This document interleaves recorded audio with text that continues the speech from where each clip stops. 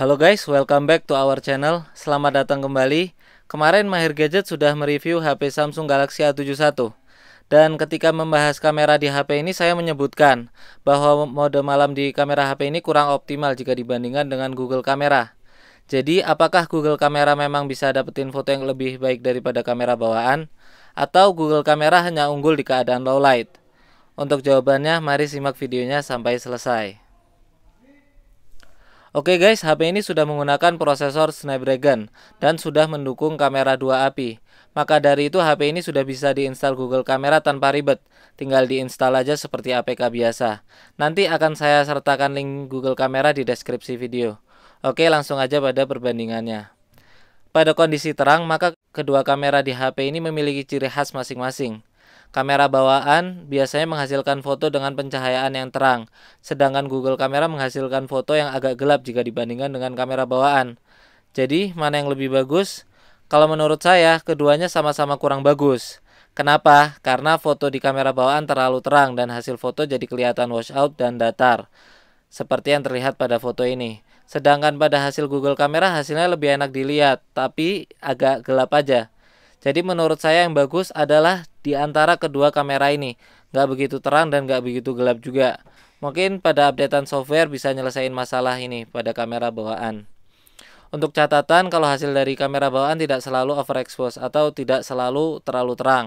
Seperti pada sampel ini, kamera bawaan bisa menghasilkan foto dengan pencahayaan yang bagus. Untuk warnanya juga ada perbedaan di antara keduanya. Warna yang dihasilkan dari kamera bawaan terlihat lebih natural dan mirip dengan keadaan aslinya. Tapi ini khusus kamera utama ya. Karena pada kamera ultrawide-nya warna yang dihasilkan agak lebay dan tidak seakurat kamera utama. Mungkin karena kebanyakan orang sering menggunakan kamera ultrawide untuk foto pemandangan, yang mana jika saturasi warna ditingkatkan otomatis hasil foto akan lebih enak dilihat. Tapi ini kembali ke selera masing-masing.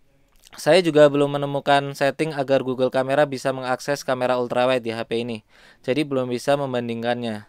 Untuk hasil dari Google Kamera, warna yang dihasilin agak kebiru-biruan, seperti pada foto ini. Warna seragam anak-anak adalah putih, tapi nggak tahu kenapa pada hasil Google Kamera warnanya terlihat biru.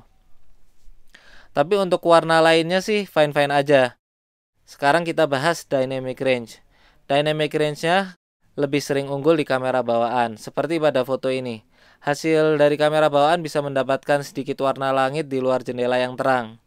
Nggak seperti Google Kamera yang hanya terlihat putih dan overexpose. Detail di bagian gelapnya juga lebih baik pada kamera bawaan. Noise-nya nggak sebanyak hasil dari Google Kamera. Pada foto ini dynamic range juga lebih baik pada kamera bawaan.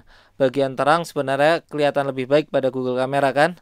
Tapi jika kita lihat bagian shadow atau bagian gelap di foto, noise dari Google Kamera ini banyak dan nggak setajam hasil foto dari kamera bawaan. Jadi pada foto ini dynamic range lebih baik pada kamera bawaan. Tapi sesekali dynamic range pada Google Kamera unggul seperti pada foto ini. Detail di baju seragam lebih terlihat daripada hasil kamera bawaan yang terlihat blown out. Untuk ketajaman hasil foto lebih baik pada hasil Google Kamera. Proses sharpening fotonya tidak agresif seperti kamera kamera bawaan. Pada kamera bawaan terlihat agak over sharpen dan muncul efek garis putih di bagian pinggir objek seperti yang terlihat pada foto ini. Sedangkan pada Google Kamera garis-garis objek terlihat lebih soft dan halus dan terlihat lebih natural juga. Pada foto ini Google Kamera juga lebih unggul karena tulisan di plat motor terlihat lebih jelas.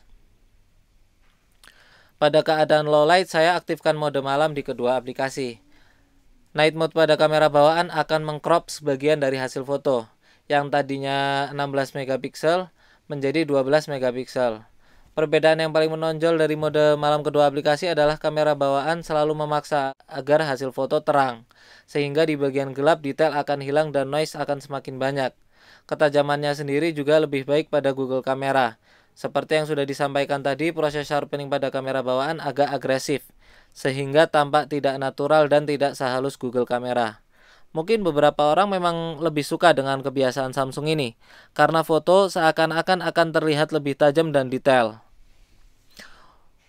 Untuk warnanya juga lebih enak dilihat pada Google Kamera. Kamera bawaan sering menghasilkan foto yang berwarna ungu pada bagian gelapnya. dan itu sering terjadi jika kita ambil foto di tempat yang benar-benar gelap.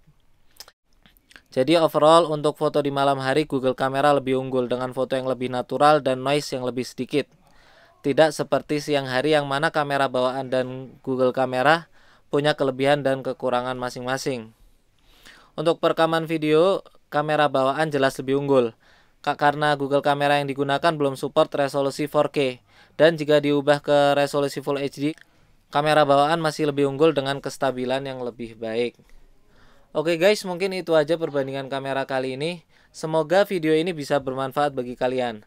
Terima kasih, see you in the next one.